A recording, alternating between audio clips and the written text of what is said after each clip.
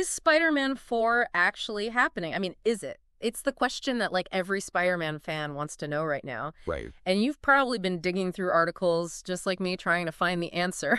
Oh, yeah. now let's be real, some of those headlines have been A wild ride, a little crazy. for sure. It's a good thing we can just cut through all that noise and go straight to the source. exactly. Tom Holland himself on the Rich Roll podcast. The man himself. I forget the rumors. We want to hear it from Spider-Man, right? Absolutely. And based on what Holland said on the podcast, he is definitely ready to put that suit back on. Like Yeah. he told Rich Roll that reading the script for Spider-Man 4 Okay. lit a fire in him. He That's even got Zendaya excited about it. Wow. Which if you know Zendaya, Right. she's always cool and collected. So that Yeah. must have been something really special For sure. For sure. to get her bouncing around the living room. it's worth remembering actors have obligations to, you know, promote their projects. Oh yeah, for sure. But this does feel different. It does. It really does. yeah. Holland seems like he is really personally invested in making this movie amazing. Like he was talking about Mhm. creative integrity and doing justice to Mhm. Spider-Man and to the fans, and that Yeah. that's not just like a PR person telling him what to say. Right. It felt like he was speaking from the heart. Yeah, it felt like a mission statement. Yeah. Like, this is important. I need to make this happen. This matters. Yeah.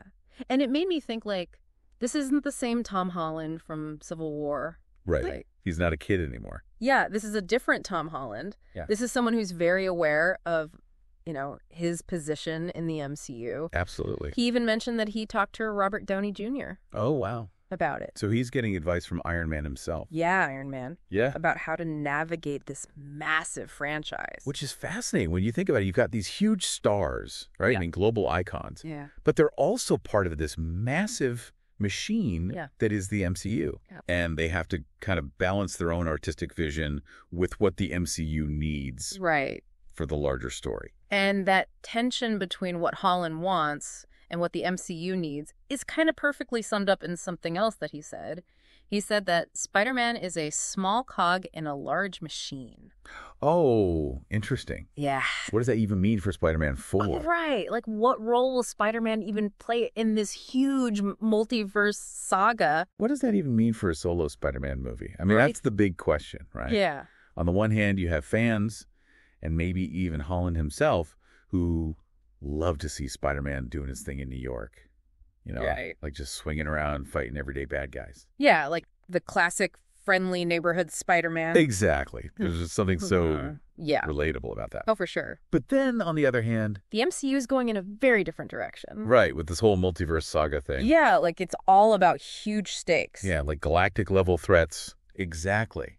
How do you go from stopping bank robbers Right. to fighting Kang the Conqueror? Right. Like, how do you even fit those two things together? What do you think? Well, one thing that Holland mentioned that I thought was really interesting was that Okay. he said that he wants to mentor a young Miles Morales in this movie. Oh, yeah. He said that. Like, passing the torch to Miles. That would be incredible. I mean, And everyone's been dying to see Miles in the MCU properly, and what better way to do it? I know. Have him team up with Tom Holland's Spider-Man. That would be amazing. And it really shows you that Holland's thinking about the future of Spider-Man. Uh huh. Like he's not just thinking about this one movie. Right. He's thinking about the legacy of the character. Yeah, like he wants to make sure Spider Man is still swinging around for years to come. Exactly. Yeah. Imagine the stories they could tell. Yeah. Like an older, Oh, more experienced Spidey showing a brand new Spider-Man the ropes.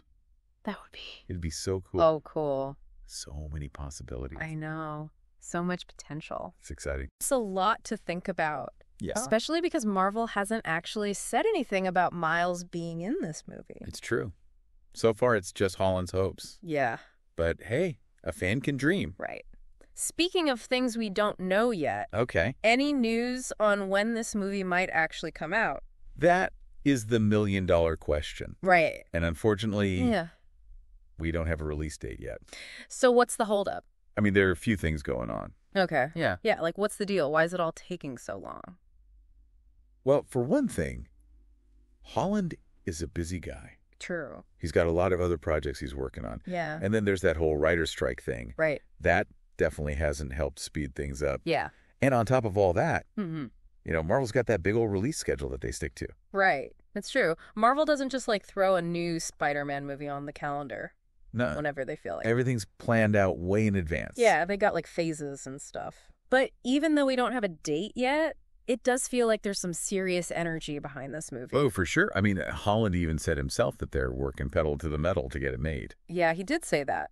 So it Makes me think that he's really committed to this, which brings us back to like Cool. we talked about how passionate he is about the character and how it- he wants to do right by the fans and now Yeah. it feels like Marvel's got this like responsibility to really bring their A game They do. to make a movie that's worthy of that dedication. I mean, Holland's bringing it, so Right. Marvel has to as well. yeah, it's like a promise has been made to the fans and Marvel needs to deliver on that promise. Exactly. which makes you wonder can they even pull that off? Right. Can a superhero movie, especially these days, be like a really personal story and Yeah. still fit into this huge, crazy multiverse thing? Can you have both? Yeah, can you have both? That's a tough thing to pull off. I think it is. It's like walking a tightrope. But that's part of the fun, right?